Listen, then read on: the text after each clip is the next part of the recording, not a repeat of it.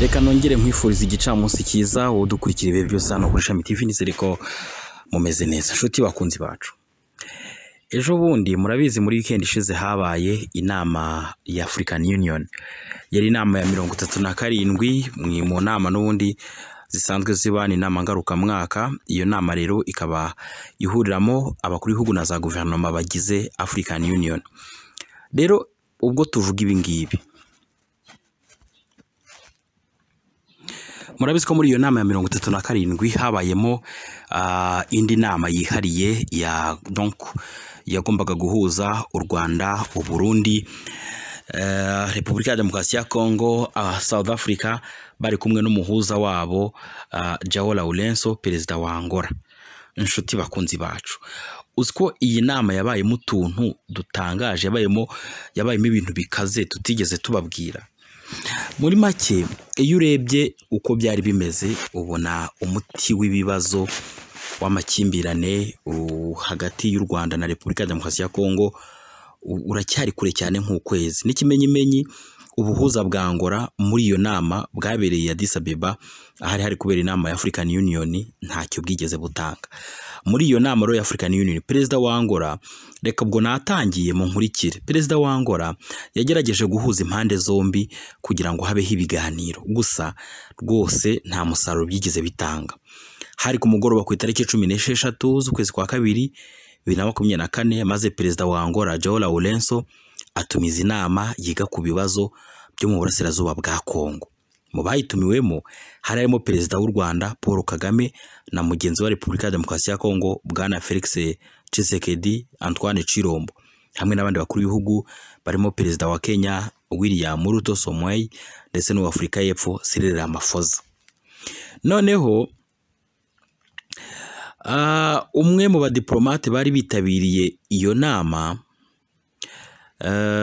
donc hari ikinyamakuru gifite amakuru menshi wenda naza kubibabwira umwe mu badiplomate bitabiriye iyo nama yavuze ko byabaye ngombwa ko perezida wa Angola ahagarika iyi nama imaze isaha imwe itangiye.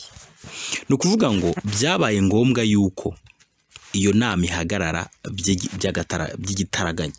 Urumva iratangiye irabaye ariko bitewe n'ibintu byari biri kuyivugiramo bitewe n'amahane yari ahari wari uzi ko hanze y'iyo nama hanze y'inama hari hari kubera imyigaragambyo ah, hari hari kubera imyigaragambyo yari gukorwa n'abanyekongo bari bari hanze donc y'iyo nzu.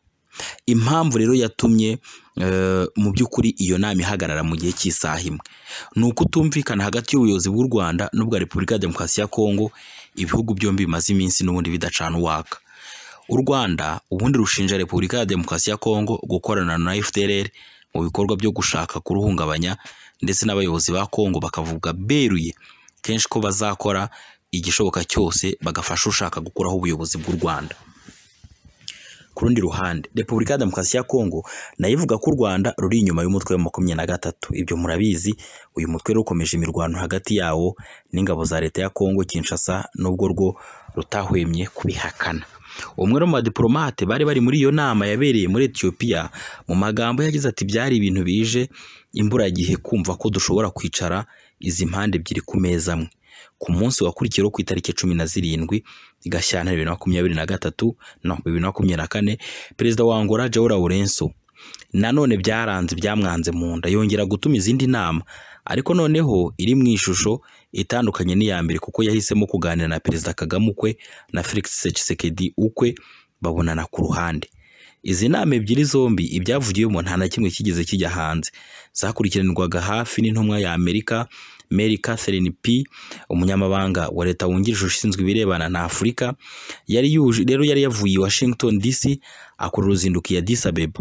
Muri iyo minsi Amerika eh, murabizi imaze iminsi byeruye ishinja u Rwanda gukorana na makumyabiri na gatatu eh, hanyuma igashinja na Kongo gukorana na FDLR kugaragara ko yinjiye mu byeruye mu bibazo by'u Rwanda na Kongo nuko rero mu mpera za bibiri na makumyabiri na gatatu Amerika yari yasabye impande zihanganye muri Kongo guhagarika imirwano nibura mu gihe mu gihe by'ibyumweru bibiri.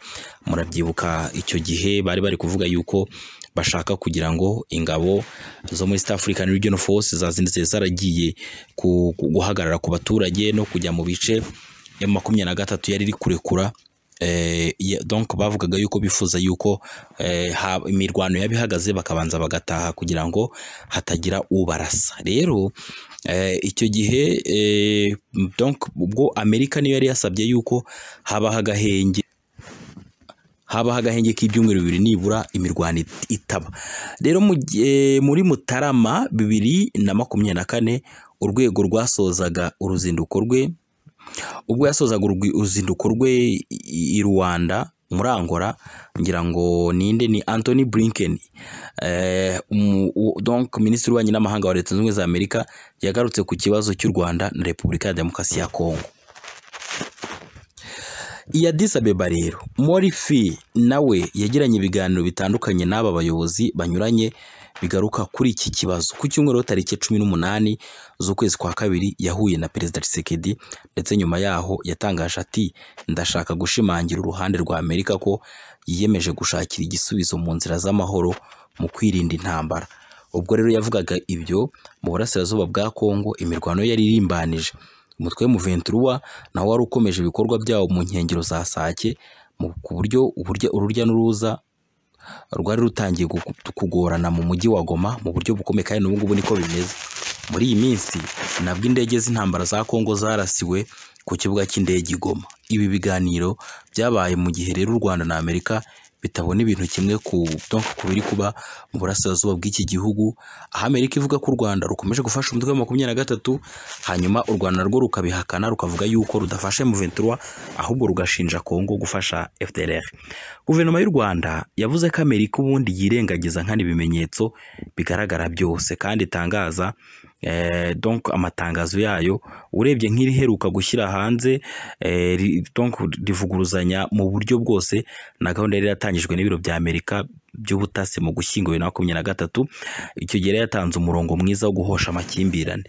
Icyo iti u Rwanda ruzaba ruzasaba ibisobanuro guverinoma ya Amerika kugira ngo hamenyekane neza niba ririya tangazo risobanuye ukwisubiraho ku murongo iki gihugu cyari gifite cyangwa se ari ukuba inzego zitarahanye amakuru nk'uko byari bikwiye. Ibyo ni byari bikubiye mu itangazo.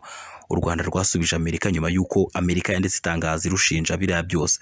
Mu gihe iyi nama yari iri kuba muri Ethiopia ibindi bihugu birimo ibyo muri SADC na byo byari biri gukura guhura ku ruhande biganira kuri gahunda yo kohereza izindi ngabo muri burasirazuba bwa Kongo.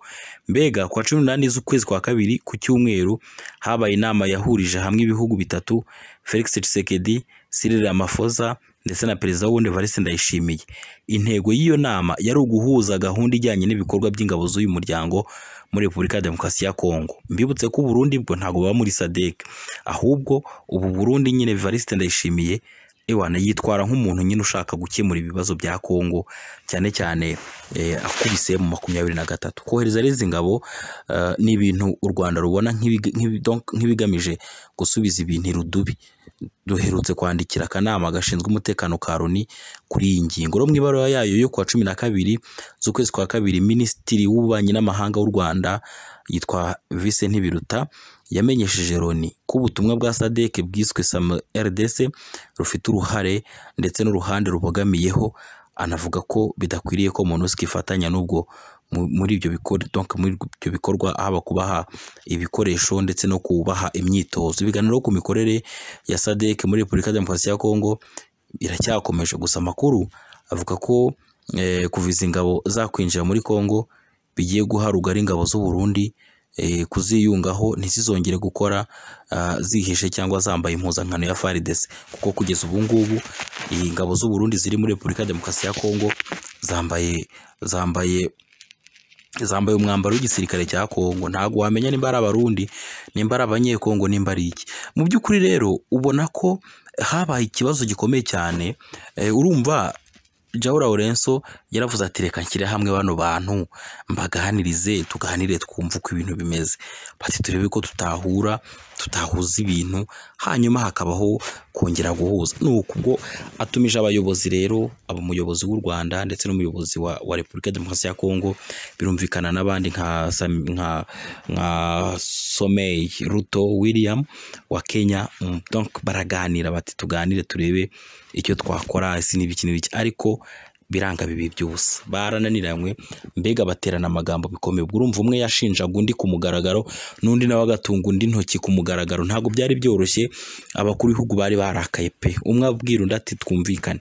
Ibibazo byo muri Kongo bifitemo uruhare undi nawe ati ibyo muri Kongo bifitemo uruhare undi ati ni wowe utabikemura. Undi ati nawe ni wowe ubiteza. Mbega byari amagambo atoroshye. Na gato eh, ukurikije ibyavuye mu, donc nawe urumva aho byageze aho Joao Lawrence avuga ati noneho iyi nama mureke tuyihagarike ubwo tuzashaka ukundi kuntu tubigenza. Birumvikana yashatse izindi donc tactique afata perezida umwe amuganiriza ukwe undi amuganiriza ukwe ariko urumvikana urumva ntabwo byari butange umusaruro ungana n'uwo byari butange mu gihe mu gihe bari kuba bafatiye icyemezo hamwe hari, harimo n'abandi ba- ba- bakuru b'ibihugu benshi nabo bagomba bashobora gutanga ibitekerezo. So muri make rero kugeza n'ubu ngubu u Rwanda na Kongo ntabwo byumvikana ku mikorere ndetse n'imibereho ya M23 muri Kongo Repubulika ya Demokarasi ya Kongo yo ivuga idashidikanya no mu matangazo yayo. Irandika ikavuga ngo ni u Rwanda. Nyine nta nubwo ijya ivuga yuko ari M23 ivuga ko ari u Rwanda. Hanyuma rero u Rwanda rwo rukavuga ati ariko twebwe duhuriye n'ibibazo byanyu. Twebwe mudushyira muri ibyo bibazo byanyu gute mubidushyiramo gute? Mm, mubidushyiramo gute? Nta bibazo byanyu tuzamo? Ntimukadushyire muri ibyo bibazo. Twebwe e, e, twebwe turi aho ngaho ibya Kongo ntabwo bitureba. M23 ni abanyekongo ni abanyu ni mwe muzi uko muzabagenza ni mwebwe muzi uko muzabana nabo. Uburyo mwifata mukananirwa gukemura ibibazo bya M23 byamara kubananira mugashaka abo mubyegekaho ibyo ngibyo ntabwo bizashoboka. Muri make muri make eh, donc hajemo umwuka utari mwiza. Hagati eh, donc muri iyo nama urumva nawe aho nyine nk'uko nababwiye aho bigera perezida Joao Lawrence akavuga ati noneho ndabona ibi bintu bitoroshye agahagarika inama. Akayihagarika ati mureke ubwo tuzashakisha ukundi kuntu tuyikora tuzashakisha ikindi twakora ariko iby'inama neza neza barabireka babivamo.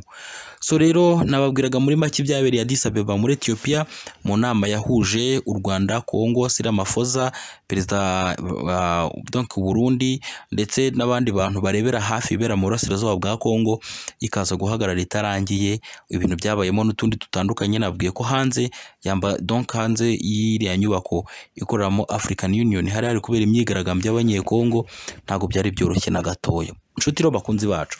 Iyi ni Ishami TV ni ibiganiro dutanga ni ibiganiro dukora tuganira kuri sije zitandukanye mm, nkababwira uko mbyumva namwe mukambwira uko mubyumva ujya rero muri komantere ni ho bimbwirira ubundi eh, ukagira agakomantere wandika nyuma n'abandi bakagusubiza natwe burya dushobora kugusubiza. Mugumane natwe rero turagaruka mu kanya